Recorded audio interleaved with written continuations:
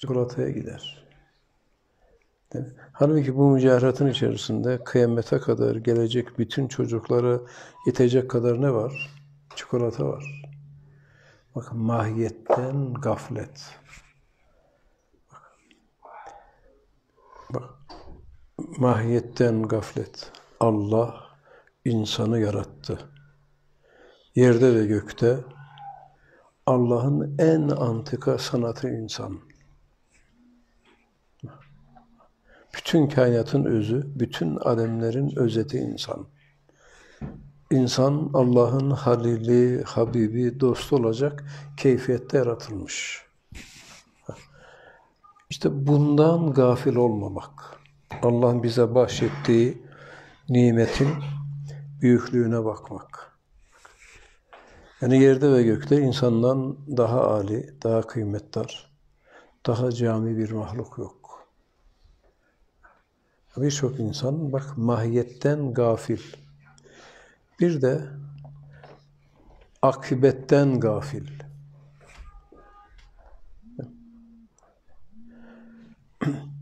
İnsanın önüne iki yol açılmış. Ya cennettir ya cehennemdir. Ortası yoktur.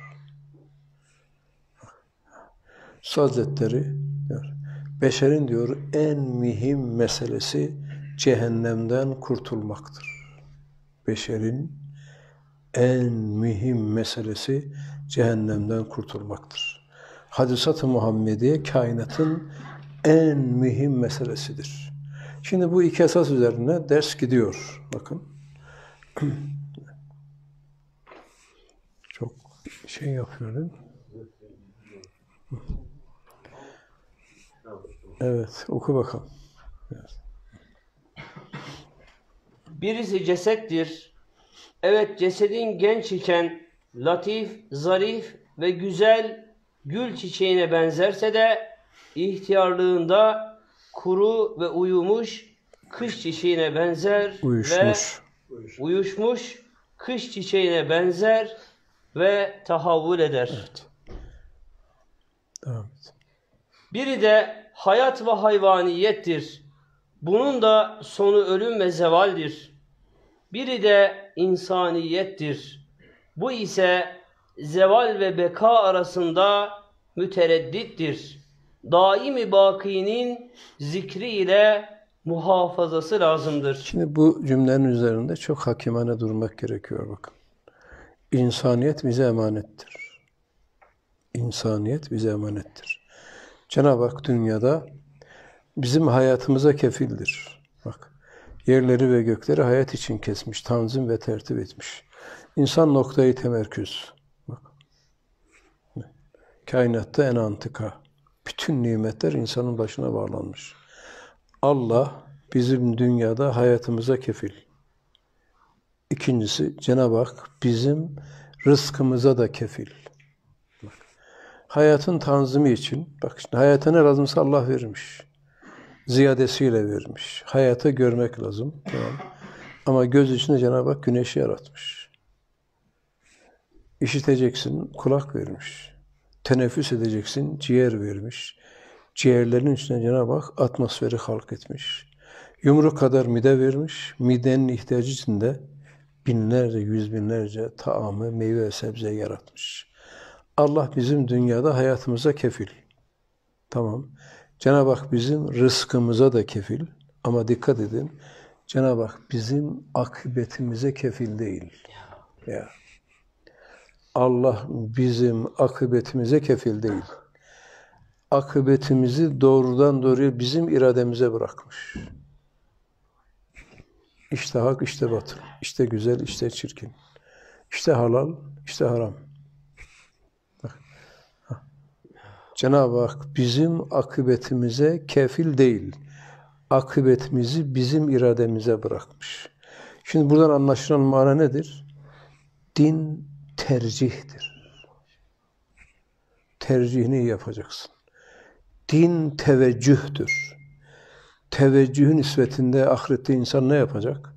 Kadir ve kıymet, itibar ve şeref kazanacak. Bu nokta yani bu derste alınması lazım gelen en büyük mesaj budur. Allah hayatımıza kefil, rızkımıza kefil. Ama akıbetimize kefil değil. Bak. Akıbetimizi bizim irademize bırakmış.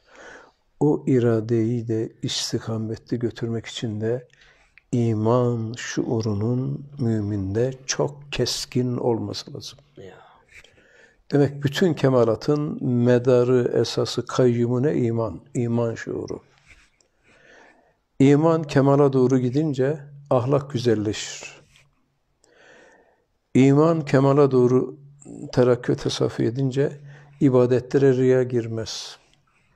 O Müslümanın dünyasında diğer Müslümanlara karşı haset, kıskançlık, adavet, kin ve ıbrar da olmaz. İman mükemmel olursa muamelat da, ticari ahlak da ne olur? Mükemmel olur. Tam emin bir Müslüman, emin bir kul. Evet. Şimdi evet bu ders bu noktadan önemli. Allah hayatımıza kefil, rızkımıza kefil ama akıbetimize kefil değil. Evet. Onun için Peygamberimiz buyuruyor, insan diyor, gider gider, cennete bir karış kalır, cehenneme düşer. Gider gider, cehenneme bir karış kalır, tövbeyi nasıl eder, Allah'a yönelir, cennete girer. Onun için Müslümanın dünyasında akıbet önemlidir. İstikamet çok önemlidir.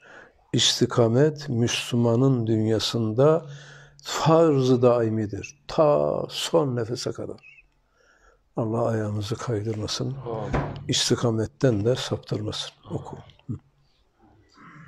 Biri de ömür ve yaşayıştır. Bunun da hududu tayin edilmiştir. Ne ileri ve ne de geri bir adım atılamaz. Evet. Bunun için elem çekme, mahzun olma. Üstad diyor ecel birdir, tagayyür etmez. Hazreti Ali demiş ki, ecelim benim ne güzel muhafızımdır. Bak, ecelim benim demiş ne güzel bir muhafızımdır. Rahmetli peder diyordu. İşte bundan belki 80 sene önce Allah alem şarkta birisi öbürüne 18 tane kurşun sıkmış. Vücudundan 18 tane kurşun. O günkü tıp 18 kurşunu çıkartmıştır. Adam 3 ay sonra kalkmış, yürümüş gitmiş. Bazen bir tokat vurursun düşer ölür. 18 kurşun ölmemiş bak. Ecel bir. Öldürmeyen Allah öldürmez. Onun için bir hadis var ki kul sekerata girdiği zaman bir melek gelir der ki artık senin dünyada yiyecek taamın kalmadı. İkinci melek artık senin dünyada içecek suyun kalmadı. Üçüncü melek de artık senin dünyada teneffüs edecek nefesin kalmadı. Bitti. İşte mumu yakınca mum ne yapıyor?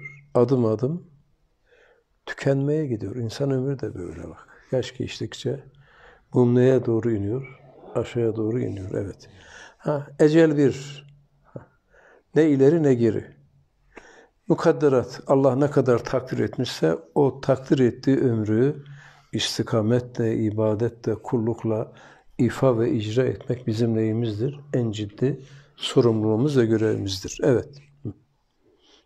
Bunun için elem çekme, mahzun ol, olma, tahammülünden aciz, takatinden hariç olduğun tuğli emel yükünü yüklenme.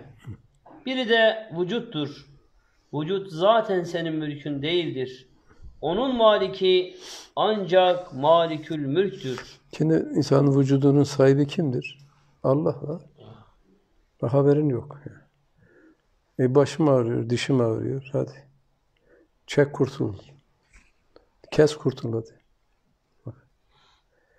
Bir zamanlar birisi yaşlı bir adam bakın. 72 yaşında. Böyle yolda yürürken biraz ekabirane, biraz da gururlu bir şekilde bu vücut benim dedi. vücut benim deyince dedim bunu bir sıkıştırayım böyle. Döndüm. Dedim söyle madem vücut senin söyle bakalım böbreğin nerede? Adam böyle ellerini açtı. Böbreğini arıyor bak. Böbreğini arıyor. Kaç yaşındasın? 72. 72 senedir böbreğin içinde ne halt ediyor? Haberin var mı? Estağfurullah hocam. Vücut Allah'ın ellerini kaldırdı ya. Bak, vücut Allah'ın da. Şimdi yemeği yiyorsun, buradan aşağı indikten sonra nasıl dağılıyor? Nereye gidiyor? Haberimiz var mı? Şuurumuz taalluk ediyor mu? Bak. Bizi yaratan Allah. Bizi yaşatan da Allah. Bu nokta çok önemli bak. İnsan hakkında en büyük hak, en büyük hak, en büyük hukuk Allah'ındır. Niye? Çünkü insanı yaratan Allah'tır, yaşatan da Allah'tır. Hepsi emanet. İşte kulluk nedir? Kulluk emanete ihanet etmemektir. Allah'ın verdiği emaneti kirletmeden Allah'a teslim edersek Cenab-ı Hak onun karşılığında ebedi bir cenneti, baki bir saadeti ikram ve ihsan ediyor. Evet. Ve senden daha ziyade senin vücuduna şefkatlidir. Binaenaleyh Malik Hakiki'nin daire-i emrinden hariç o vücuda karıştığın zaman zarar vermiş olursun. Ümitsizliği intac eden hırs gibi. Biri de bela ve musibetlerdir. Bunlar zaildir, devamları yoktur. Şimdi belalar ve musibetler hakikat noktasında insanı helak etmek için gelmemiş. Arındırmak için gönderilmiş. Tasaffi ettiriyor. Cenab-ı Hakk'ın sünnetullah kanunu var. İşte mendilin kirlendi. Değil mi? Suyla yıkarsın. Sabunla yıkarsın. Çamaşır makinesine atarsın, temizlersin. Ama bakın demir kirlendi. Yani demir oksitlendi. Pas tuttu. Ha, onu suyla yıkayamazsın. Suyla yıkarsan iyice demir ne olur? Paslanır. Demir kirlendi mi sünnetullah kanunu onu ateşe sokacaksın. O nar ateşe sokacaksın. İyice orada yanacak. Kıpkırmızı olacak. Sonra getirsin örse kafasında birkaç tane değil mi? Ya. Ateş. Ha, vuracaksın. Ondan sonra onun kiri temizlenir. Bu kanun insanın manevi hayatında da caridir. Ahir zamanda yaşıyoruz. Hatamız çok, güneş, günahımız çok. İslam dininde İslamiyet Müslümanı tövbeden sonra serbest bırakmamış. Tövbeden hemen sonra şeyden günahtan hemen sonra tövbe etmek vaciptir. Ölüm gelmeden önce tövbe. Tövbe edeceğiz. Tövbe ettik mi efendim gözyaşıyla yıkadık mı Cenab-ı Hak o günahı siliyor. Tövbe etmesen o demirin ateşe girdiği gibi. Ya. Yani insanın günahını ancak cehennem ateşi temizler. Bir de kafasına Kafasına vurdu deyince Elazığ'da 6.8 şiddetinde deprem olmuş. Cenab-ı Hak Cenab-ı Hak hayırlara vesile kılsın, Rabbim hafsetsin. Ha, bakın müsibetler işte bak. Yani e, küre arz titriyor. Kur'an-ı Kerim'deki bakın belagat-ı Kur'aniye elfaz ile mana arasında çok latif bir münasebet var. Bu Kur'an'ın icazı, Allah'ın ke- kelamı. Bak şimdi deprem sartıntısı olduğu zaman ne oluyor deprem? Ben çok e, çok deprem gördük biz. Çok deprem yaşadık. Tamam. Cenab-ı Hak muhafaza etsin. Bak. Şimdi ayet-i kerimede bak küre arzın sarsılması ile ilgili ses tonu itibariyle Kur'an'ın elfazının arkasında öyle bir mana var. Bak. Bak. İza. Bak. Z harfi nedir? Titreşimdir. Fonatiğe göre Z nedir? Titreşimdir. Bak. İza zülzületül ardu zilzaleha. Bak. Kur'an'ın şu ayeti küre arz hareket ederken arkadaki şeyi ses ritmini de veriyor. Bak iki adam konuştuğu zaman diyorsun ulan Nedir fiskos ediyorsunuz? Fıs fıs fıs konuşuyorsunuz bak. Öyle mi? Ulan ne şeytanlık yapıyorsunuz? Bak İslamiyet'te mesela iki adam cemaatin içerisinde yan yana gelse fiskos etse fıs fıs fıs. Ulan bunlar muhakkak şeytanlık yapıyor bak. Şimdi ayeti kerime bak. Şeytanın destesini anlatıyor. Kul evzü bi rabbin nas. Melikin nas. ilahin nas. Bak.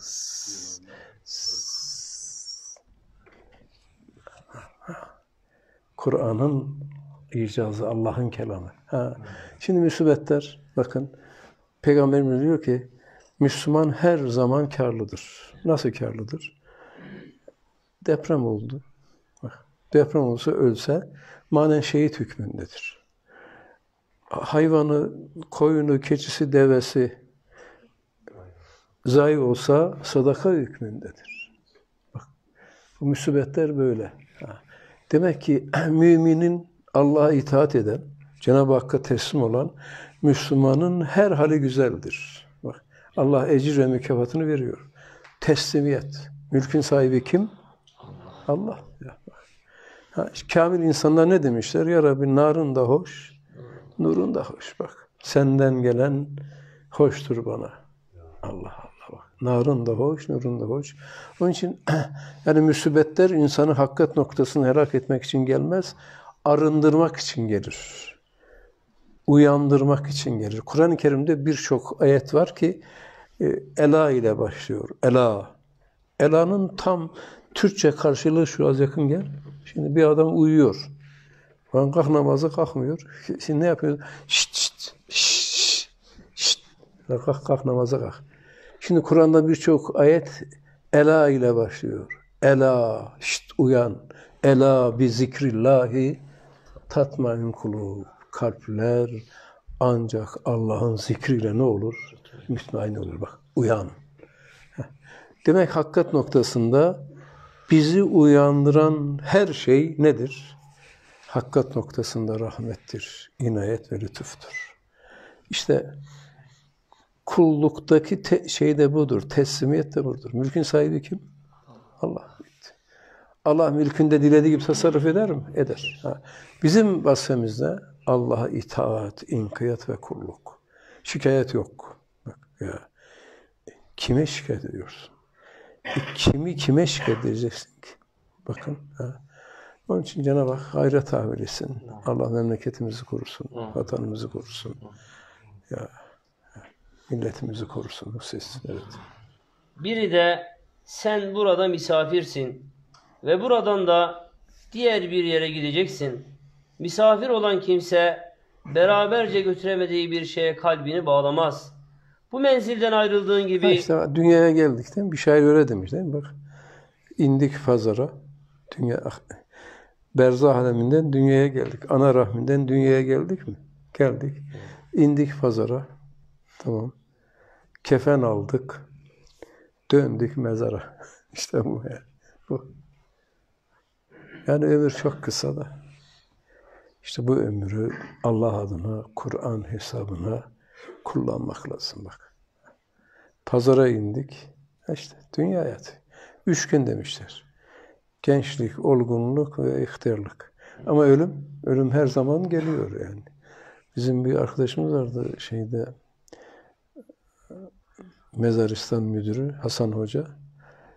Dedim Hasan Hoca ne var ne yok şeyde Zincirli Kuyruğu'nun şeyi mezar müdürü. Hasan Hoca ne var ne yok dedim. Hocam dedim buraya yaşlılar sıra sıra geliyor. Gençler de ara sıra geliyor. yaşlılar sıra sıra geliyor. Gençler de ara sıra. Dünya geldik. Geldikten sonra neyi bekliyoruz? Hakikat noktası. Ölüm bekliyoruz yani. Bitti yani.